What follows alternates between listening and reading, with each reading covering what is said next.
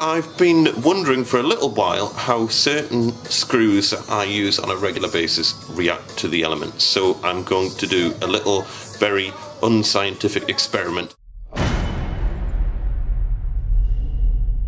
So I've got um, a box of screws here, fairly commonly used ones, and what I'm going to do, I've got some trusty frog tape containers which are infinitely useful. I use them for all sorts of things. I've put the date on it and what I'm going to do is I'm going to test one batch of screws just with normal uh, tap water. This is literally straight out the tap and I'm also going to do a separate batch. I'm going to just add some household salt. Uh, I can't open a child cap with one hand. So I'll just shove some water in there, some in there. Oops. And this one's going to have a random quantity of, of salt in. I don't know how much. That much. Give it a bit of a mix. And I've managed to spill water everywhere. Let me get a cloth. You may be able to beat that. Child benefit only for the first three children. It's got a hole in it. What are computer cookies? Please Oh no. we need to find out. This Ah, then. well that's not going to work. Oops! Let's try that again. Got glass jars this time, and I'm assuming these don't have holes in. So here is just ordinary tap water. We'll add some salt to that. I'm sure there'll be a million other videos like this on YouTube of people seeing, watching screws rust. Anyway, that enough? A bit more. Right, that'll do. We'll give it a quick mix. You do it, that'll do. Look at that. Right. Okay, we're gonna do these are nearly all um, Screwfix screws by the way. Um, I'm sure you can find equivalents. But okay, let's start with it. Oh, got a screw in the wrong section.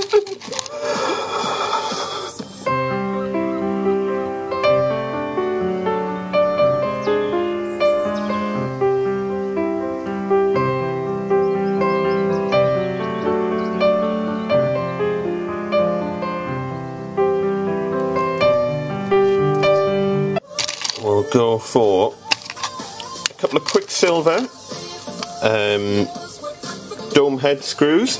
One, one, couple of Quicksilver. I think these. What are these? These are ten by one and a half. And Quicksilvers. We'll go for they're the same type of screw, but we'll go for the longer ones. These are the two and a half inch. One in each. Let's go for. I've got lots of these. Let's use some of these. These are Turbo Gold, so Screwfix Turbo Gold. I can't remember the exact size. I think they're about 4 by 45 or something like that. Anyway, we'll go for one in each. And here we've got these are just normal gold screws, um, 4 by 30s dome head, one each. behind him and not to take advantage of the opportunities. We'll shove these outside.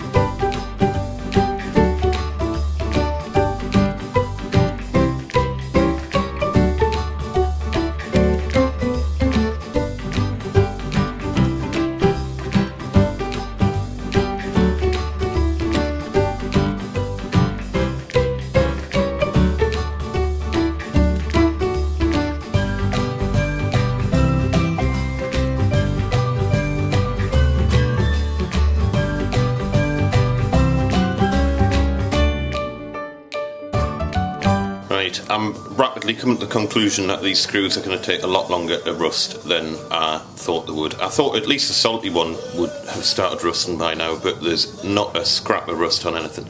So uh, I think what we're going to have to do is come back for a part two. In the meantime, I'm conscious of the fact that not a lot of, well, no air really can get to the screws. I mean, there's obviously air in the water, but maybe it would be a better test to just leave a bunch of screws actually out in the open. They're going to be getting wet when it rains, uh, they're going to be subject to the elements, they're not going to be sheltered in, in any way, and we'll try that and we'll come back to them. So I'm going to do that now.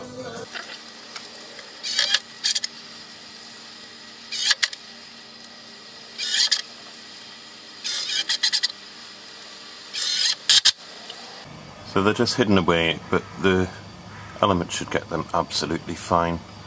We'll come back to that. I'll check them every couple of weeks, I think, because um, I don't think anything's going to happen to them anytime soon.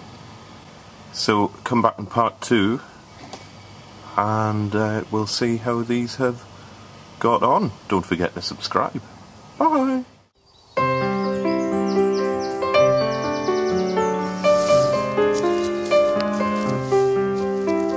Bye.